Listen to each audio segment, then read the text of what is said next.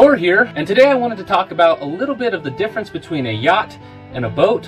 What are the differences between those? And I wanted to show you the most yachtish, yachtish, yachtish, yacht part of my boat. So this is the most yacht-esque part of my whole vessel, the kitchen. Otherwise in the boating world called the galley. The reason why I call it the most yacht-esque part is mostly because it has this really fancy, overly designed trash can, which is also full of trash. This is why I call it the most yacht-esque part of my vessel, because something has happened. My sink has come loose. This part's supposed to turn, not that bottom part. So I've got to fix that. And you're going to see what a pain in the butt it is to fix that. Calling my boat a yacht is about as valid as Kim Kardashian calling her butt real. It's not.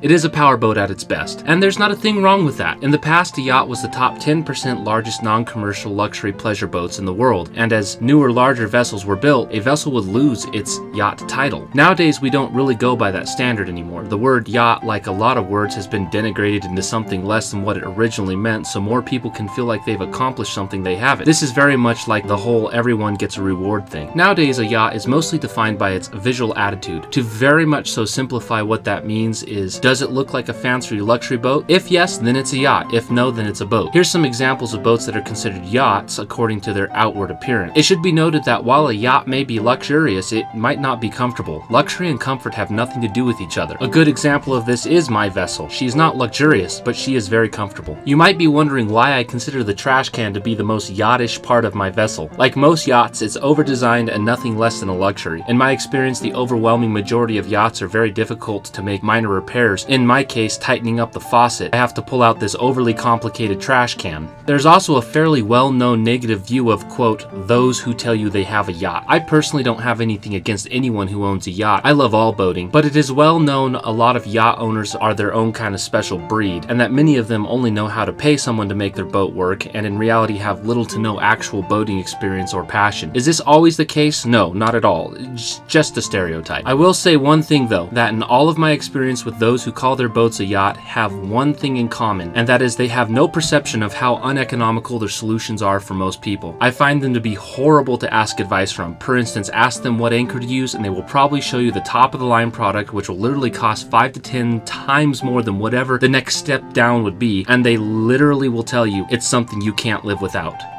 Suffice to say, there's a reason there's a negative stereotype about yacht owners. Their boats are generally speaking nothing but a flex, and in general, they can't help but brag, albeit intentionally or not. I always remind myself to look past that stuff, as many of them are still really amazing and neat people. I also love their boats as well. I love, generally speaking, just about any boat. As a side note, I would really like to know and hear your opinions on yachts in the comment section.